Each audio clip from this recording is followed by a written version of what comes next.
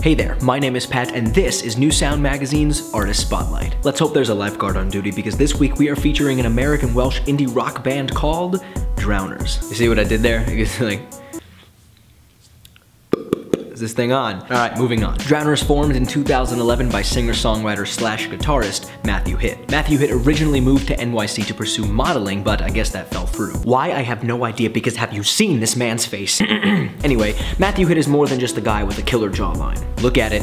Matthew along with three other talented musicians come together to make a rock sound similar to Early Strokes and the Arctic Monkeys. The three other members include Jack Ridley on lead guitar, Lakis Pavlou on the drums, and Eric Lee Schneider on bass. With a fast fast-paced sound and sporting all black, Drowners fully embrace the gritty, rapid lifestyle that Manhattan is known for. They're also a crossover hit in the UK as well. Not many bands can gather a massive UK and US following, but Drowners make it look easy. I'd be lucky to have six people from my hometown know I actually exist, let alone love me.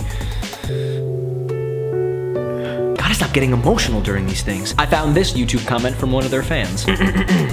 you better come so San Francisco, I swear to God. Hear that guys? You're already being threatened, so it looks like you made it you should probably go to San Francisco soon. Drowners have opened up for bands like Cage the Elephant and the Vaccines and are currently on tour in the UK. They will be returning to the States though in June to play at the Governor's Ball. I am definitely excited to see them live. From looking at concert videos of them, I know they have enough energy to power all of Times Square for more than a New York minute. Drowners have one EP called Between Us Girls and they've released their self-titled debut album on January of 2014. Drowners' first album has mixed reviews getting a 58 out of 100 on Metacritic. But I'm gonna let you be the judge. Click here to listen to Drowners Drowner song, Love Hold Me Down. Like it, hate it, let me know what you think. If you want to read more about drowners, check out New Sound Magazine down below. My name is Pat, this has been the New Sound Magazine Artist Spotlight, and I will see you next Friday to discover some more amazing music. Okay, bye.